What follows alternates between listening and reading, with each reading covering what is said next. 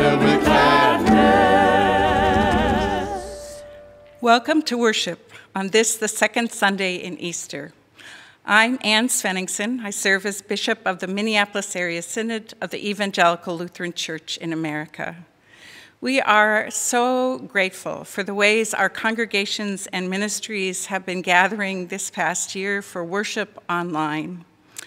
Our hope today and on May 30th is to provide a worship service that both celebrates and strengthens our Synod faith community and beyond, as well as provides a small respite for congregational worship leaders. We are deeply grateful to Church Anew, our partner in providing this service, to Hope Lutheran Church in Jordan, Minnesota, part of the Minneapolis Area Synod, for hosting us in this beautiful sanctuary and for providing incredible musicians who will lead us in our singing. They are also joined, the musicians, by Jeff Engholm, Michele Crowder, and Matt Fleming. I also want to thank Pastor Wandamu Sinessa, our Redeemer Oromo Evangelical Lutheran Church pastor, for being our assisting minister, to my colleague John Holden for his children's sermon, and we give thanks and praise to Eric Barreto, professor at Princeton Theological Seminary, for his sermon today. Finally, thank you to the extraordinary technical and video team that make this worship service possible. We continue our worship together, for God has promised to meet us here. Joined to Christ in the waters of baptism, we give thanks for the great exchange, the mercy and forgiveness that wrap our true selves in sacred belonging and purpose. Thanks be to God. Alleluia. For a word at the dawn of creation, which spoke water and life into being. Thanks be to God. Alleluia. For the great flood that revealed nature's power and God's commitment to life after death. Thanks be to God. Alleluia. For the river that carried Moses safely, building a bridge between mothers and nations. Thanks be to God. Alleluia for the rock split open in the desert, spilling water for those thirsting for freedom. Thanks be to God. Alleluia. For the gift of holy baptism, which declares there are no more God-forsaken places, and nothing can separate us from the love of God in Jesus, for Christ is risen. Christ is risen indeed. Alleluia. God of life, we rejoice with the waters that cover creation. Our songs of praise echo their dancing tides and streams. Pour out your Holy Spirit on this community and all of creation. Cleanse our fears, drown our divisions, give us mercy and grace to drink, so that our whole lives are signs of death defeated and thirst quenched. Thanks be to the risen Jesus, the Son of God. Amen.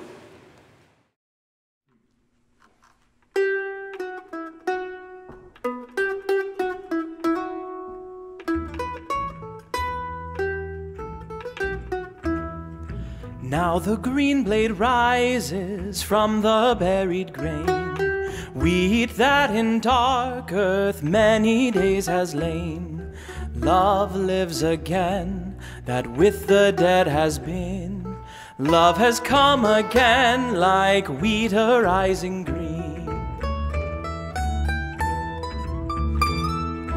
In the grave they laid him, love by hatred slain, thinking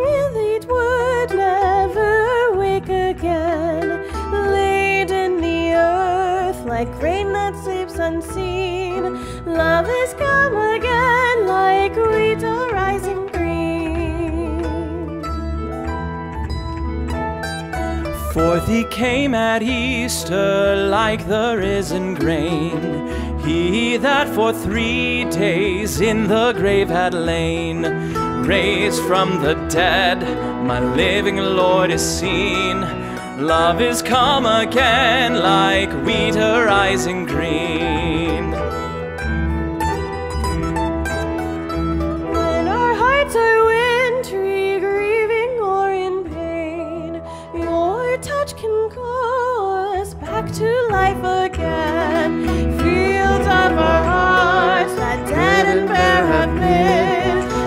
Is come again like wheat arising Love is come again like wheat arising. Love is come again like wheat arising green.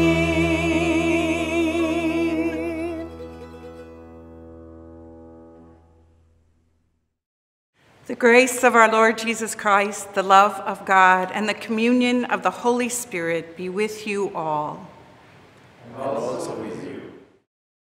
Your love, your love is lasting. Your love is everlasting. Your love, your love is lasting. Your love is everlasting. Since time began through centuries, God's love is everlasting. To distant, unknown galaxies, God's love is everlasting. Splendor springs forth across the land. God's love is everlasting. Abundant sharing hand in hand. God's love is everlasting. Your love, your love is lasting. Your love is everlasting. Your love, your love is lasting. Your love is everlasting. A mother's womb, a brand new life. God's love is everlasting. An empty tomb. God's love is everlasting. Weeping may last for the night. God's love is everlasting. But joy breaks forth through morning lights. God's love is everlasting. Your, Your love, your love is lasting. Your love is everlasting. Your love, your love is lasting. Your love is everlasting. Signs of hope, a voice of peace. God's love is everlasting. The prophets cry for war to cease. God's love is everlasting. For the down and out and the high and proud, God's love is everlasting. Come on, you people, shout out loud, God's love is everlasting. Your love, your love is lasting. Your love is everlasting. Your love, your love is lasting. Your love is everlasting. Oh, it's lasting. Your love, your love is lasting. Your love is everlasting. Your love, your love is lasting. Your love is everlasting. Oh, it's lasting. Your love, your love is lasting. Your love is everlasting. Your love, your love is lasting. Your love is everlasting.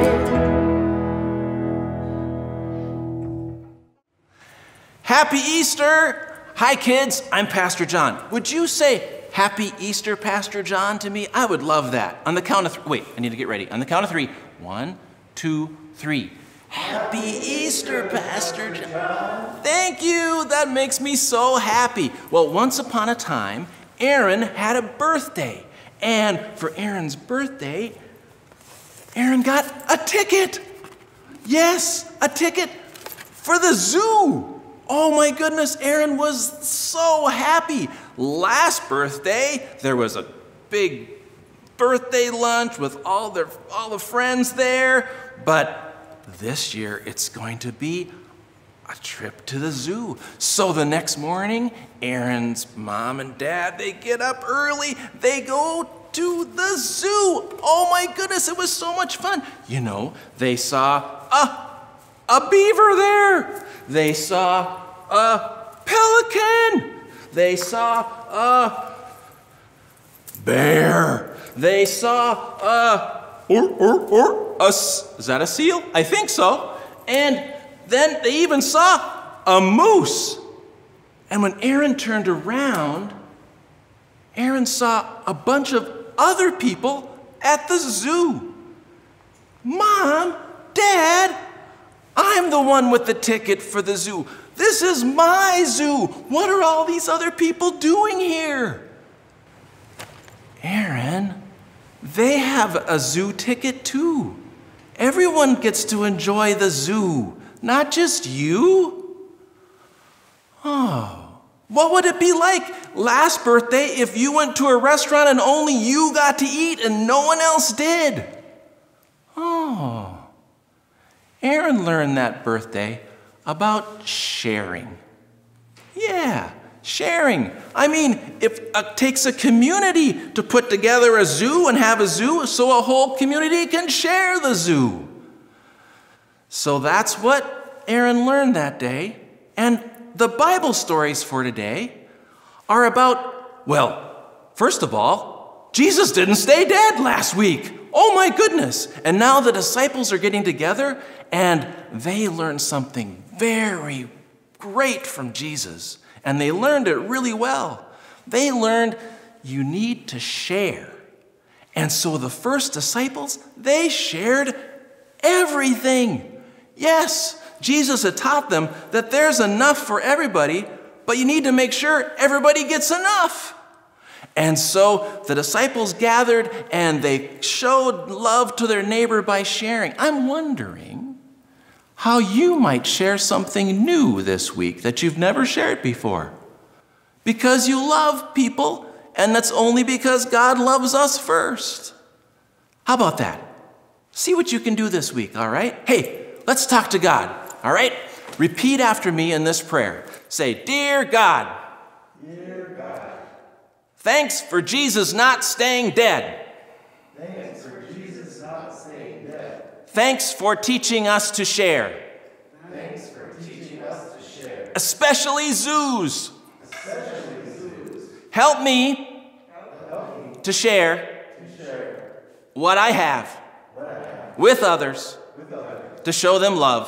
to show them love. Just like you Just like you love me love me so, so much. so, so much. Amen. Amen, amen, amen. Amen, amen, amen, amen. Thanks.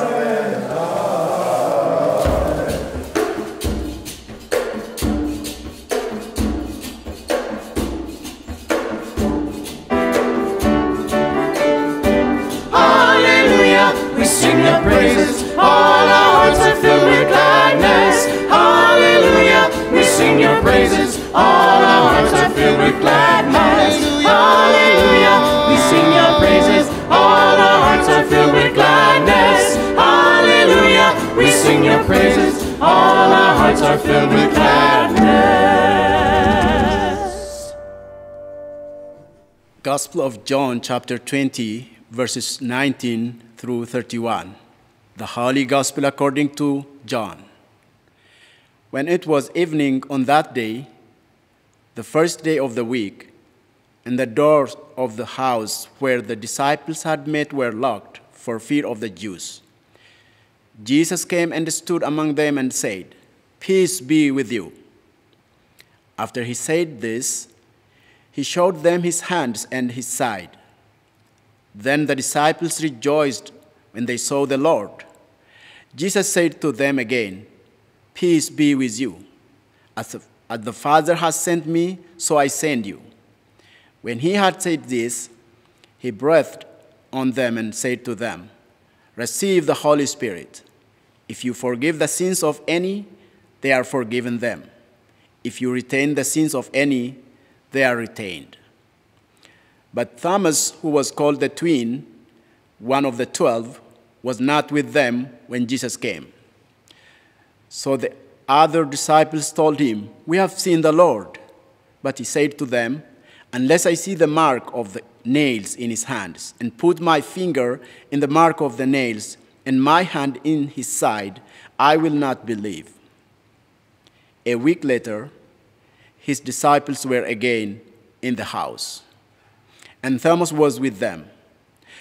Although the doors were shut, Jesus came and stood among them and said, Peace be with you. Then he said to Thomas, Put your finger here and see my hands. Reach out your hand and put it in my side. Do not doubt, but believe. Thomas answered him, My Lord and my God. Jesus said to him, Have you believed because you have seen me? Blessed are those who have not seen and yet have come to believe. Now Jesus did many other signs in the presence of his disciples, which are not written in this book. But these are written so that you may come to believe that Jesus is the Messiah, the Son of God, and that through believing you may have life in his name. Word of God, word of life. Thanks be to God. Scripture reading this morning, this first Sunday after Easter, comes from Acts chapter 4, starting in verse 32. Now the whole group of those who believed were of one heart and soul, and no one claimed private ownership of any possessions, but everything they owned was held in common.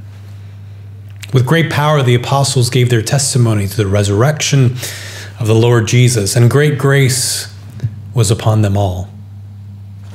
There was not a needy person among them, for as many as owned lands or houses sold them and brought the proceeds of what was sold. They laid it at the apostles' feet, and it was distributed to each as any had need. There was a Levite, a native of Cyprus, Joseph, to whom the apostles gave the name Barnabas, which means son of encouragement. He sold a field that belonged to him, then brought the money and laid it at the apostles' feet. My friends, this is the word of God for the people of God. Thanks be to God. So that settles it, doesn't it? Who's with me this morning? Who's ready to sell all your possessions? Who's ready to sell iPhones and computers and televisions and cars and lay them at the feet of your pastors this morning? Who's ready to trust this body of believers that we will all be taken care of by our kin in the faith? Who's who's first? Who's who's ready? Acts can seem to make it so clear, so easy. This is a picture of an ideal Christian community, one in which no one lacks for anything, a community I yearn and hope to be a part of. And yet, it also seems so impossible, doesn't it? We know that we fail. We know that we are unreliable sometimes. We know that sometimes even churches are not worthy of our trust. We know that even the best intentions will not solve all our problems. So, what do we do with this seemingly clear teaching? What do we make of a church where no one holds on to their stuff, but is always willing to sell it all for the sake of their neighbor? And even more daunting, what if this kind of church proves impossible for us? Oftentimes, Christians have turned to the Acts of the Apostles, hoping to find there in this text the perfect church, or at least a really good model of what church might be like. We tend to read Acts like a blueprint for putting together the perfect church, uh, a Lego manual with step by step direction on how to build it. We wonder if, if we could just do church the way the early church did, wouldn't we be in a much better place? I mean, they knew what it was like to be church, they lived it. But we have lost our way after all these years, so the solution is let's go back to those good old days. But what if Acts is not an instruction book that outlines precisely how to become a perfect church? Our passage today is one key motivator for these kinds of nostalgic hopes. Here we read about the idyllic days of this young church. Acts notes that this is a community of one heart and soul. Doesn't that sound like what we yearn for when we gather for worship and fellowship?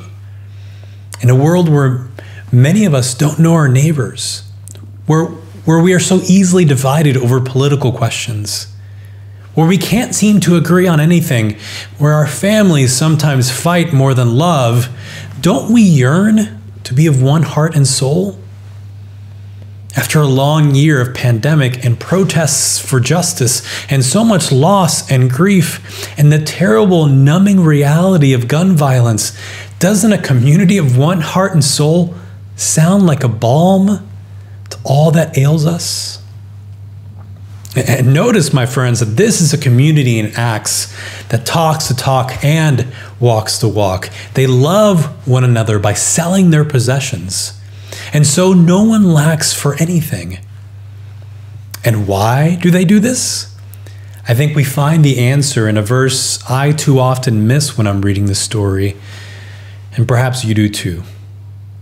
I very easily forget verse 33, and it reads, with great power, the apostles gave their testimony to the resurrection of the Lord Jesus, and great grace was upon them all. My friends, don't miss this. They were not of one heart and soul because they tried really hard. They did not sell their possessions because it was the right thing to do. They did not help each other because it was simply the neighborly thing to do. This community was not an achievement of will or even of being really good Christians. Instead, everything they did was because of the resurrection. They so believed in a Jesus who defeated death and promised life to us all that they trusted every bit of their lives into the hands of God and their neighbors. They were so committed to a God who brings life in the midst of death, who draws communities who have been torn asunder back together, who responds to grief with the power of grace. They so believed in that God that selling their possessions was not just possible, it was God's evident calling upon their lives. They believed because if God can raise the dead, then surely God will provide our every need. It, it sounds so easy, doesn't it? Maybe, maybe too easy. I mean, let's get real for a second, folks. Isn't Luke being incredibly naive? Doesn't he know what we are really like?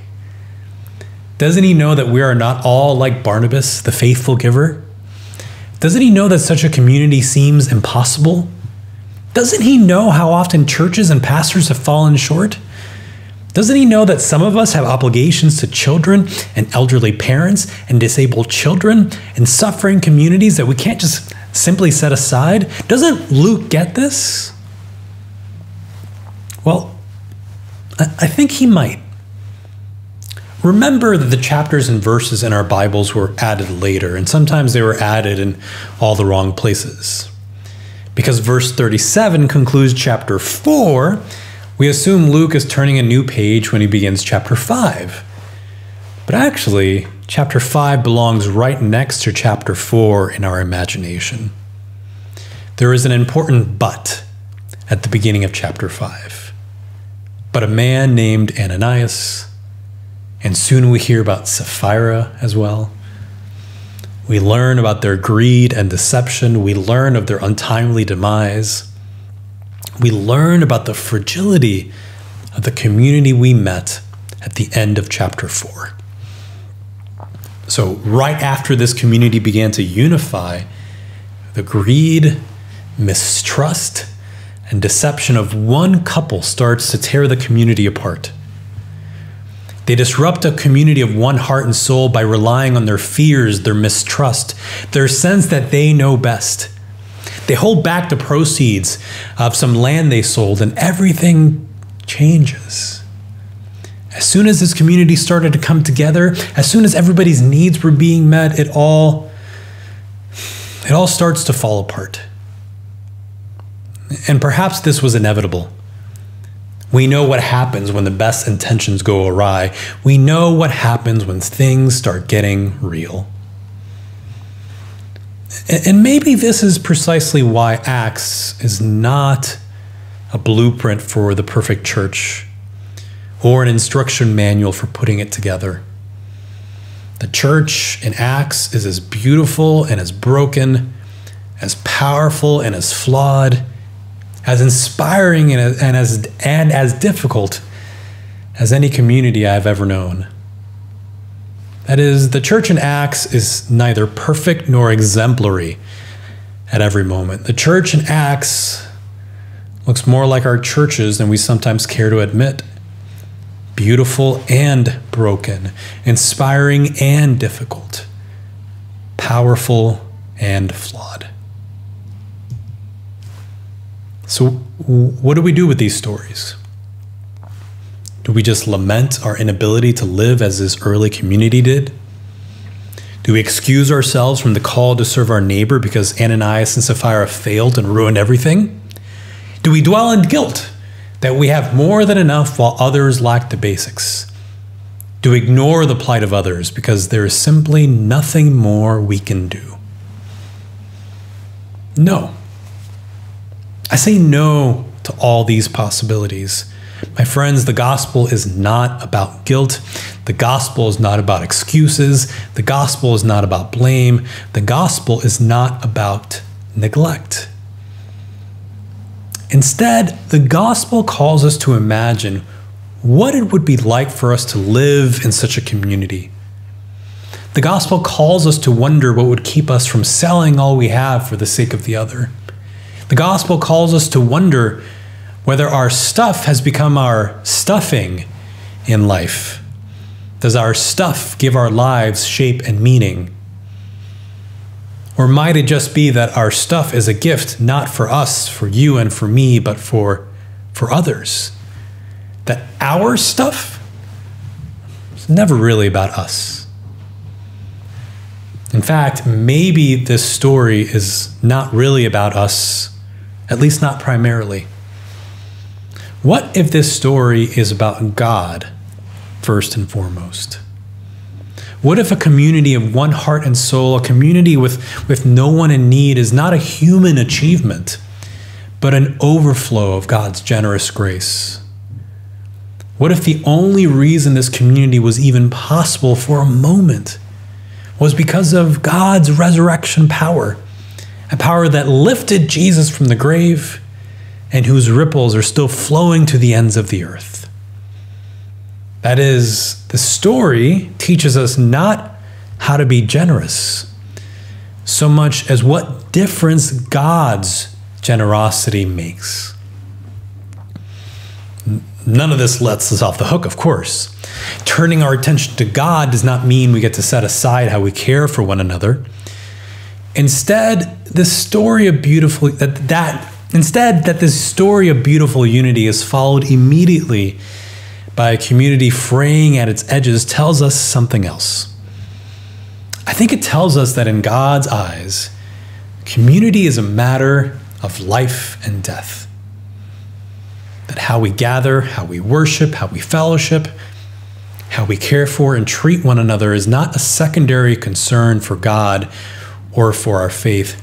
Community is at the center of God's character and thus our faith too. Community can be a reflection of God's generous grace, but we also know all too well how fragile community is. When we gather together and worship in life, we do so not to join a club or to make some important connections with influential people in our communities. No, when we gather, we hold each other's lives in our hands. We hold each other's stories. We hold each other's joys and hurts alike. Because that, that is the shape of God's love in our everyday lives. Community, my friends, is a matter of life and death. Maybe this is that much more evident in this strange and difficult season when we cannot gather as we, as we once did, when we socially distance in order to care for one another. We sense in our lives, in our, in our bodies, how precious and, yes, how fragile community is. So many have paid a high price this last year in illness and isolation, death and job loss, in the fraying of relationships and mental health alike. Community is fragile, my friends, and so central to God's hearts, to God's heart. When we hear cries of protest from oppressed communities, when we hear that prophetic utterance, Black Lives Matter, when we learn anew how too many among us have felt invisible and targeted as Asian Americans, we see caravans yearning for hope at the nation's doorstep, we know all too well how precious and how fragile community can be. Community, community, my friends, is a matter of life and death. God cares deeply about how and why we gather, for in that gathering we taste, sense, feel the shape of God's resurrection power in a world where we so often feel hemmed in by the forces of death, division, and destruction. So, what might we take from all this? Must we sell all our possessions? Well, maybe, but perhaps not. Must we give up everything we know in order to follow Jesus? Maybe, though perhaps not. This story is not an instruction manual for us. And as much as I want easy answers, this story will resist giving them. But we have to take seriously that God God may call us to do something seemingly unbelievable or impossible. God might call us to trust our neighbors, to listen to the witness of what they have experienced, to bend a community around their cries and prophetic hopes. God may call us to sell everything we have, to give up what we think is most central to discover the heartbeat of God's hopes. And let's be frank such trust such sacrifice requires courage. But there's a promise here, too. Whatever we give up, whatever we give up cannot compare to the bounties of God's grace, the transformation the resurrection of Jesus brings in its wake, the community that only God's love can make tangible. Such a community is not only possible, it's a promise. Such a community is not only fragile, it, stands at a knife's edge. Such community is not only my hope, your hope. It is God's own design.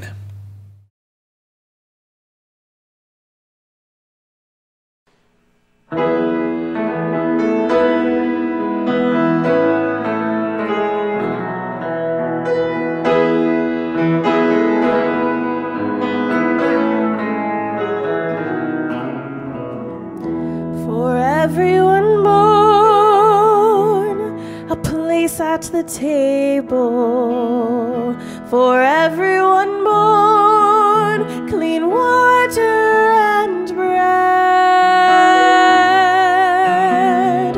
a shelter, a space, a safe place for growing. For everyone born,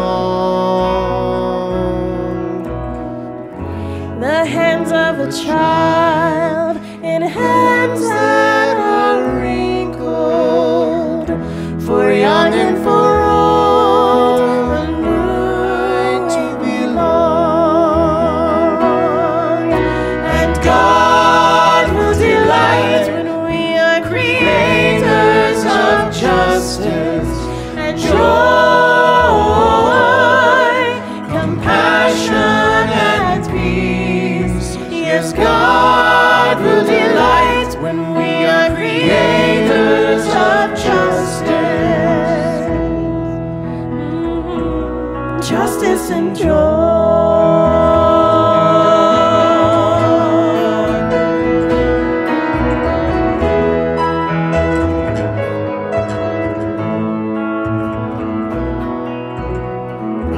for just and unjust, a place at the table, used and unused, with need to forgive, in anger and hurt, a mindset of mercy. For just and unjust, a new way to live. And God will delight when we are creators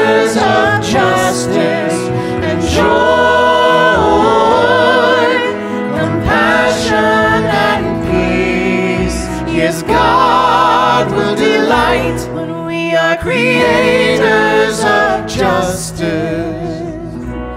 Justice and joy. Justice and joy. Justice and joy.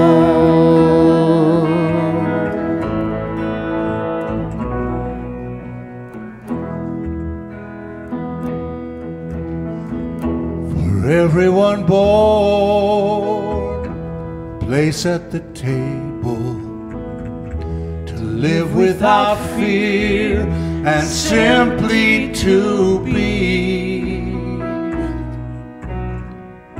To work to speak out, to witness and worship. For everyone born,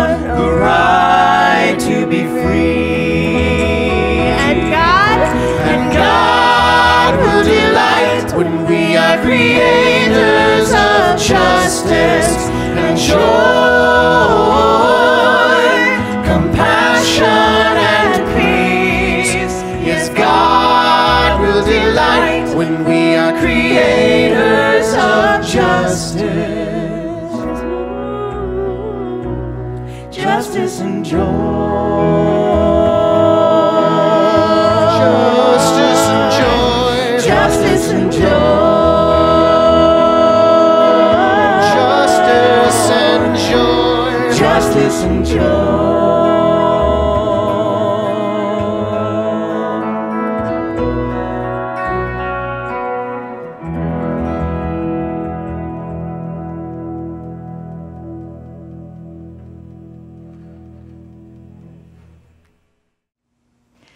We join together in the affirmation of faith. Christ is risen. Christ is risen indeed. Christ is risen. Christ is risen indeed. Christ is risen. Christ is risen indeed. Hallelujah. With the whole people of God in Christ Jesus, let us pray for the church, those in need, and all of God's creation.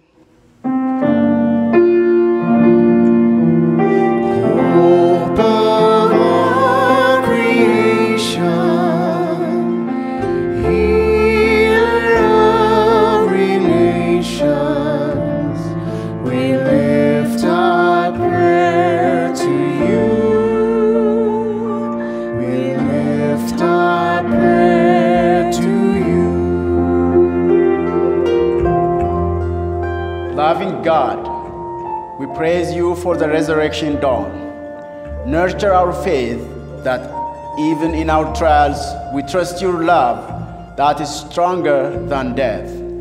God of mercy, Hear our prayer. God of grace, you enter into our locked places with a liberating word of peace. Breathe your spirit upon us.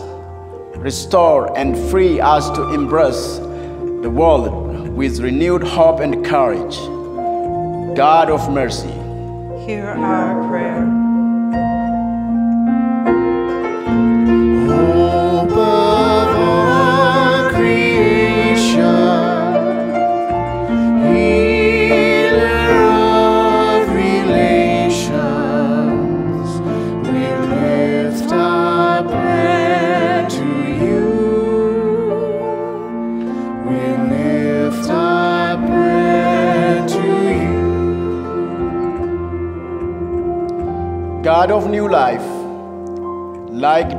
upon the mountains, refresh your creation. Restore the waters, cleanse the air, and provide revitalizing moisture to parched land. Guide our steps that we might walk gently on the earth. God of mercy, Hear our prayer. Almighty God, your reign is justice and peace. Help us to live this new life of mutuality, just distribution, and sustainable sharing.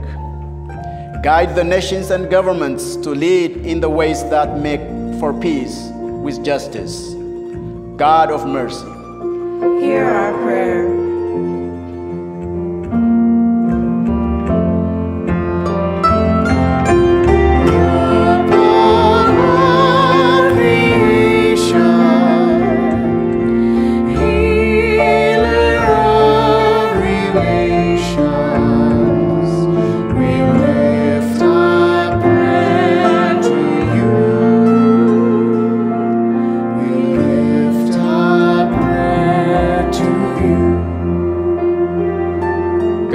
Compassion, you invite us to touch your wounds so that we may believe. Help us to believe that you feel our wounds and the suffering of all creation. Bring your healing and peace to those who are lonely, hurting, suffering, or afraid, especially those we name in our hearts before you know. God in mercy. We praise you for the resurrection promise of life everlasting. In thanksgiving and remembrance, we recall the lives of those who have gone before us, especially. Unite us with them in resurrection hope. God of mercy. Hear our.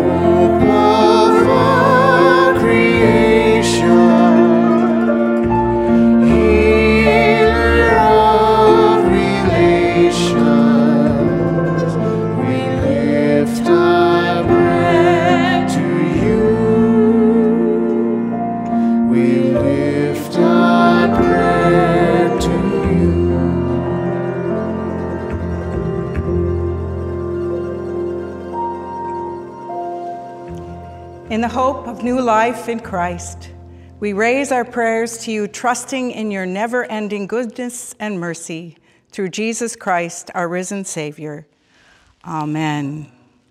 We join now in praying the prayer that Jesus has taught us. We are grateful to our worship leader who will lead us in this prayer in the Oromo language. Yaa abbaa keenya waaqarra kan jiraattu maqaan kee haa qulqullaa'u. Mootummaan kee haa dhufu. Jaalalli kee waaqarratti akkuma ta'e. Akkasuma lafarrattis haa ta'u.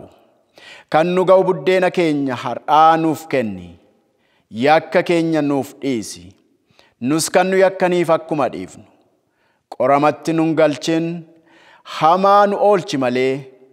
Mootummaan kan keetiyoo humnis galannis bara baraan aameen. The peace of the risen Christ be with you always. and also with you. Good morning, church. For offering, we will be asking you to join in with us on Salam Aleikum Le. This song comes to us from our brothers and sisters from Ghana, where there are Christians there who speak in Arabic. So the words are Salam Aleikum Le, Salam Aleikum Le, Salam Aleikum Le, and Salam Aleikum Le, which means may peace be with you. So in English, we'll say, May peace be in your heart. And I have some movements for you in your heart so you can remember it.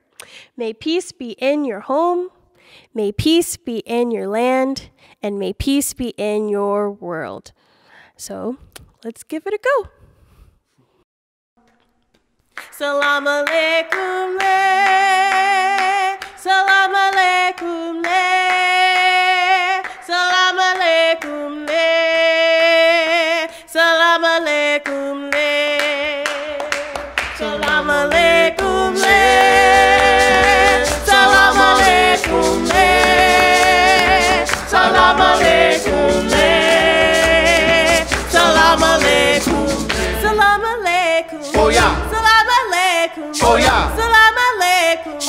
Oh yeah, oh yeah, oh yeah, oh yeah. Salam alaikum. Oh, yeah. Salam alaikum. Oh, yeah. Salam alaikum. Oh yeah, oh yeah, oh yeah, oh yeah, oh yeah. May peace be in your heart. May peace be in your home. May peace be in your land.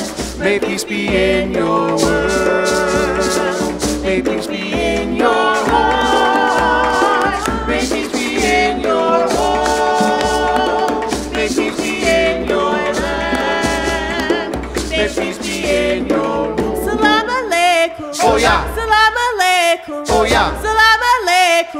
Yeah, oh yeah, oh yeah, oh yeah, oh yeah. Salam alaikum. Oh, yeah. Salam alaikum. Oh, yeah. Salam alaikum. Oh yeah, oh yeah, oh yeah, oh yeah, oh yeah. Salam alaikum. Oh yeah, Salam alaikum. oh yeah, Salam alaikum. oh yeah, oh yeah, oh yeah, oh yeah, oh yeah. Salam alaikum. Oh, yeah. Salam alaikum. Oh, yeah. Salam alaikum. Oh yeah, oh yeah, oh yeah, oh yeah, oh yeah.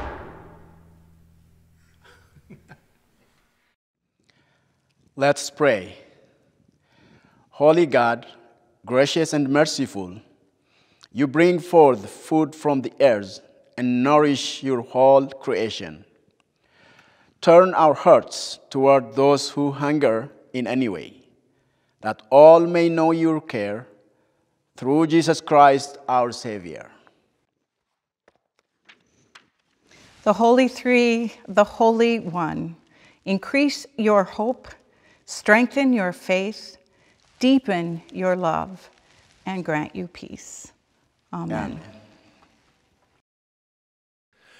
Go now, go now, go now with God. Go now, go now, go now with God. As we conclude worship singing together, I invite you to join with others around this synod and around the country and around the world who are worshiping today in a different language by simply singing Go Now with God in Spanish, Vamos con Dios. Vamos con Dios. Try it once. Vamos, vamos, vamos con Dios. Vamos, vamos, vamos con Dios.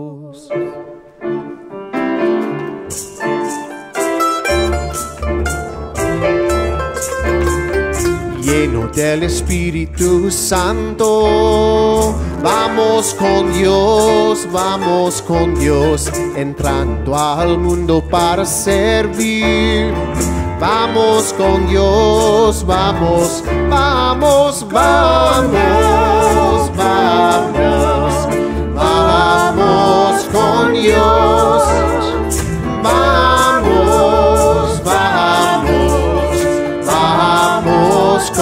Con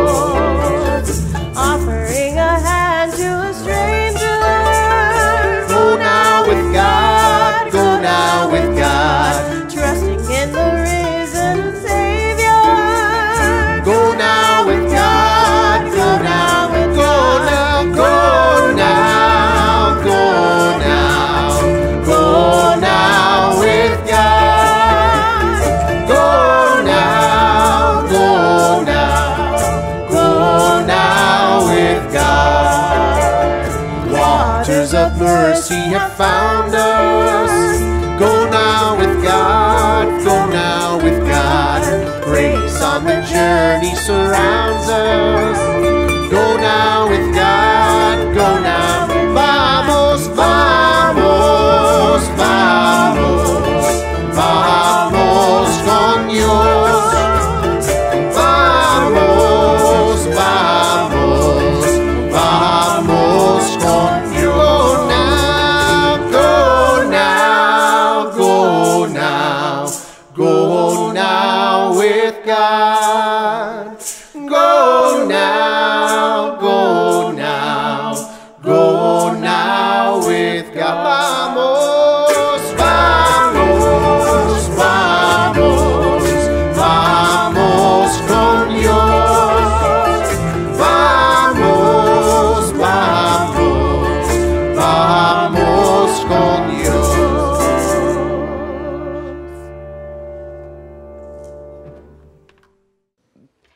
peace.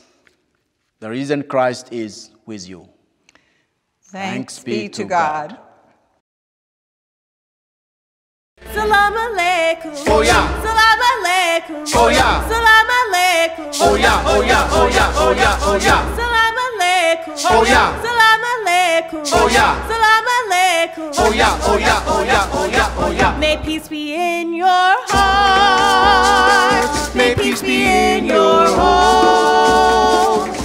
Peace be in your land. May peace be in your world. May peace be in your heart. May peace be in your home. May peace be in your land. May peace be in your home. Salam alaikum. Oh, yeah. Salam alaikum. Oh, yeah. Salam alaikum. Oh yeah, oh yeah, oh yeah, oh yeah, oh yeah. Salam alaikum. Oh, yeah. Salam. Oh, yeah. Salam alaikum. Oh yeah, oh yeah, oh yeah, oh yeah, oh yeah. Salam alaikum. Oh yeah, Salam alaikum. oh yeah, Salam alaikum. oh yeah, oh yeah, oh yeah, oh yeah, oh yeah. Salam alaikum. Oh, yeah. Salam alaikum. Oh, yeah. Salam alaikum. Oh yeah, oh yeah, oh yeah, oh yeah, oh yeah.